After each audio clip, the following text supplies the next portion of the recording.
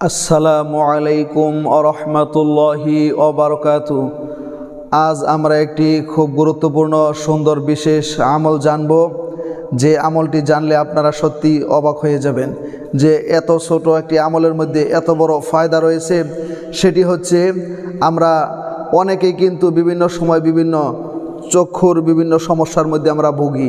অনেকের চক্ষু দ্বারা মাঝে মাঝেই পানি পড়ে অনেকেই চোখের মধ্যে জাফসা জাফসা যে দেখি, আবার অনেকেই এরকম হয় যে তার চোখের মধ্যে হঠাৎ করে লাল হয়ে যায় বা যে কোনো সমস্যা চোখের মধ্যে দেখা দেয়।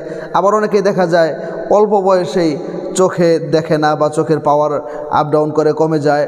তো এই যে একটা সমস্যা, এই সমস্যাটা আল্লাহ মনে রাখবেন, আল্লাহ পাক রব্বুল আলমিন কিন্তু সমস্যাও দিয়েছে সেটার সমাধানের কিন্তু রাস্তা আল্লাহ পাক খোলা রেখে দিয়েছে। আর সবচাইতে সমাধানের সহজ যে একটা রাস্তা, সমাধানের সবচাইতে দামি যে একটা রাস্তা, সেটি হচ্ছে পবিত্র কোরআনুল কারিম। কারণ পৃথিবীতে যত সায়েন্সবিদ, যত কিছু গবেষক রয়েছে, বেশিরভাগ জিনিসই কিন্তু আপনার কোরআন থেকে গবেষণা করে তারা বাহির করেছে। আজ আমরা কোরআন থেকে এমন একটি সুন্দর আমল জেনে নিব, যে আমলটি আপনি যদি করেন আপনার চক্ষু দ্বারা যদি মাঝে মাঝে পানি পড়ে, সেটাও দূর হয়ে যাবে। আপনার চক্ষু যদি হঠাৎ করে লাল হয়ে যায়, সেটাও দূর হয়ে যাবে এবং আপনার চোখের মধ্যে যত ধরনের সমস্যা আছে, সব সমস্যা দূর হবে। সবচাইতে মজার কথা হচ্ছে, আপনি মৃত্যুর আগ পর্যন্ত আপনার চক্ষুর পাওয়ারকে আল্লাহ পাক রব্বুল আলমিন নষ্ট করবে না। তো এই ছোটো আমলটি হচ্ছে খুব মনোযোগ সহকারে শুনতে থাকেন। আপনিও আগামীকাল থেকে করতে পারবেন যদি কয়েকবার মনোযোগ দিয়ে শোনেন। সেটি হচ্ছে প্রত্যেক ফরজ সলাৎ আদায় করার পরে, প্রত্যেক ফরজ নামাজ আদায় করার পরে, সালাম ফিরানোর পরে, সেখানেই বসে আপনি বিসমিল্লাহ রহমান রহিম বলবেন বলার পরে এই সুরাতুল কফ ছাব্বিশ নাম্বার পাড়ার মধ্যে একটা সুরা রয়েছে, সুরাতু কফ। এই সুরাই কফের এটি বাইশ নাম্বার আয়াত। এই আয়াতটি ছাব্বিশ নাম্বার পাড়ার আঠারো নাম্বার পৃষ্ঠার উপরের দিকে একটু মাঝামাঝি রয়েছে।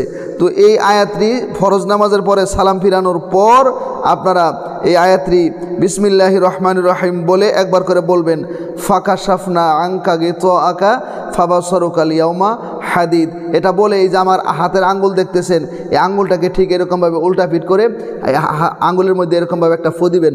যে বিসমিল্লাহ রহমান রহিম ফাঁকা সাফনা আঙ্কা গিত আঁকা ফাবা সরকাল ইয়াউমা হাদিদ। তো আমি দেখ আমি এই বিষয়টা আপনাদেরকে দেখিয়ে দিচ্ছি। তো এরকমভাবে একটি ফু দিয়ে আপনার এই দুই চোখের মধ্যে এরকমভাবে সুন্দর করে একটা মেসেজ করে দিবেন। আবার বলবেন বিসমিল্লাহ রহমান রহিম ফাঁকা সাফনা আঙ্কা গীত আঁকা ফাবা সরুকালিয়াউমা হাদিদ। এটি আবার বলে, একটি ফু দিয়ে আপনার দুই চোখের উপরে সুন্দর করে কি করবেন? মেসেজ করে দিবেন। আবার বলবেন বিসমিল্লাহ রহমান রহিম ফাঁকা সাফনা আঙ্কা গীত আঁকা ফাবা সরুকাল ইয়াউমা হাদিদ। এই আয়াতটি পরে বিসমিল্লার সাথে একবার ফু দিবেন।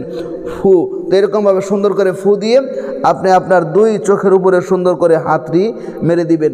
এই আমলটি যদি আপনি করেন প্রত্যেক ফরজ নামাজের পরে, এই আমলটা যদি করেন, তাহলে কোরআনের বরকতে এই আমলের খাতিরে আল্লাহাক আপনার চোখের যাবতীয় সকল সমস্যাকে দূর করে দিবে এবং আপনার চক্ষুর যে পাওয়ার রয়েছে, চক্ষুকে আল্লাহ পাক রব্বুল আলমিন মৃত্যুর আগ পর্যন্ত সচল রাখবেন।